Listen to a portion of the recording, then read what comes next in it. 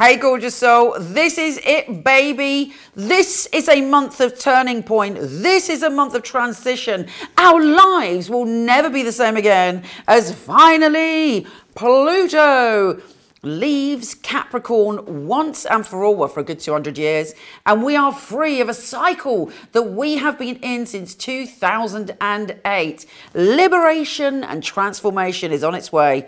Here's your monthly astrology.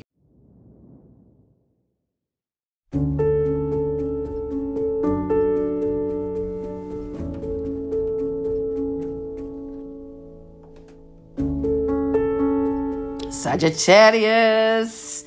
Ooh, it's an exciting time for you. There's magic in the air. Let's start at the beginning with the new moon in Scorpio. You are super psychic.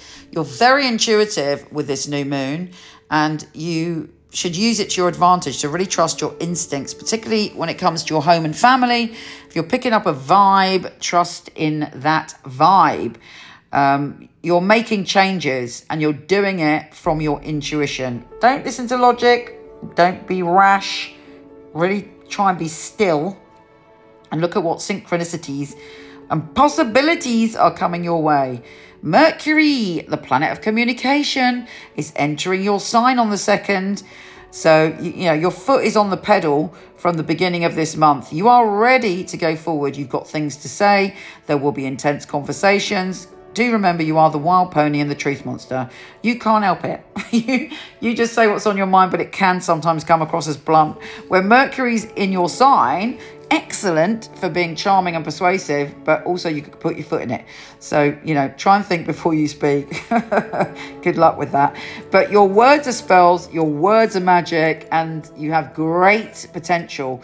Now, Pluto, the Lord of Transformation, we are at the final battle. We are at the crescendo. There will be a reward and then there will be a huge shift.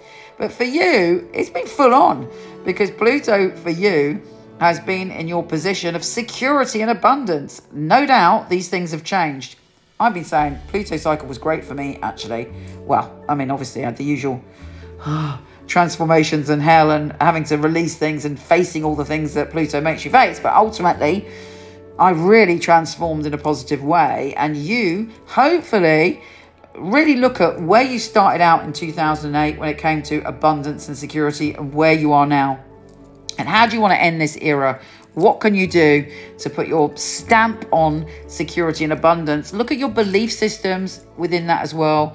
And really truly believe that abundance and securities are yours now, baby. You've earned them in that cycle and it's super important. You know, the next phase that you're going through is all about communication. The way you communicate is going to radically shift over the coming years. So, you know, it's a very big difference. And also the way the way you listen to other people and also the way you interpret what other people say to you is going to be a fascinating journey. Now, Mars enters Leo on the 4th, and this kind of gives you a boost. You feel excited, you feel able to be bouncy, you feel naturally energetic, you feel adventurous, you feel all the things that you naturally are. And it, it sort of puts fire and passion into your soul and spirit. On the 11th, Venus, the planet of love and abundance, I think is coming in to give us a final gift because obviously Pluto is leaving once and for all, and Venus is the planet of love and abundance in your position of love and abundance. So I am hoping you will get the prize for all your hard work through this uh, 15 years of, of issues to do with abundance. But hopefully, a lot of gains in there. Let me know your gains. Let me know the triumphs in that too down below. Uh, Mercury is square Saturn. You may be in some push me, pull me between your what you want to do do at the moment and what your family or your living circumstances are. There will be a message about that, and with Saturn going direct, you can sort of move forward with that after the fifteenth. Now, on the fifteenth, we have a full moon in Taurus, and Uranus is there. Something unexpected is coming up that is urging you to shift a tiny thing for a big reward. It may be something to do with a habit, a pattern. It may be something you need to shift in connection to your health and well being. But look out for a surprise and take advantage of it on that full moon. Mercury in your sign is opposing Jupiter. You know what? That's a good thing. Um, Jupiter always brings something to the party, as I'm always saying. So there could be some joyful news from somebody you're very close to. Pluto leaves on the 19th. Hurrah. And then two days later, the sun goes into your sign. Yeah, baby. It's like, you know, when the sun's in our sign, we're plugged into the mains. We're optimistic. We have this mm, feeling of warmth. You're naturally optimistic anyway. So amazing. You're going to feel great when the sun goes into your sign. Mercury's already there. Bring it on. I do have to say, Mercury does go retrograde on the 26th. So you're like, mm.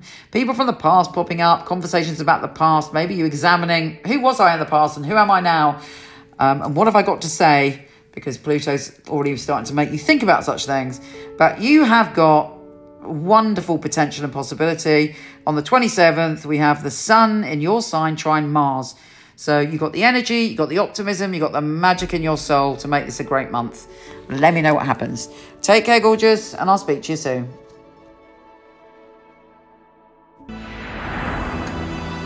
Thank you so much for the love you've given me regarding the Knight-Waite Tarot. If you haven't got it yet, it contains all of my love and passion that I've had for tarot since I was a small child.